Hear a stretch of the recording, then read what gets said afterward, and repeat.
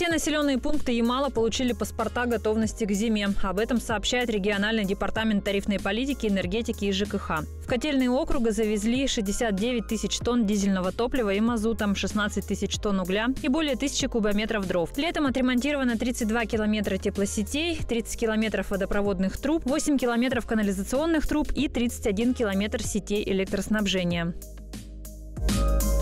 Пауза для реформы. Новые правила расчета за общедомовые ресурсы следует отложить на год. Такого мнения придерживается депутат Госдумы Сергей Пахомов, отвечающий за нововведения в коммунальной сфере. Изменения почувствуют те, кто платит ресурсы по нормативам, а не по счетчикам, и они будут болезненными. Для таких квартир будут предусмотрены повышающие коэффициенты от полутора до трех. Само по себе отсутствие счетчика государство будет воспринимать не как безалаберность хозяина жилья, а как попытку смухлевать и потратить слишком много воды или электричества.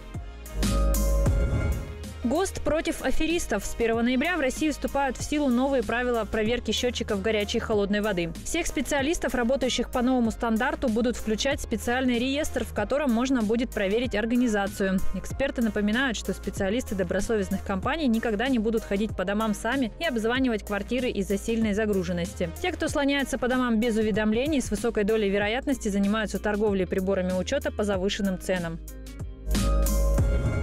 Процент понижается. Минстрой намерен расширить перечень коммунальных льготников и понизить предельный порог квартплаты для некоторых категорий россиян. Сегодня на Ямале право на субсидию дает доля расходов на услуги ЖКХ, превышающая 15%. В дальнейшем для многодетных семей и одиноких пенсионеров ее планируется понижать вплоть до 10%. Схема тестируется в ряде регионов.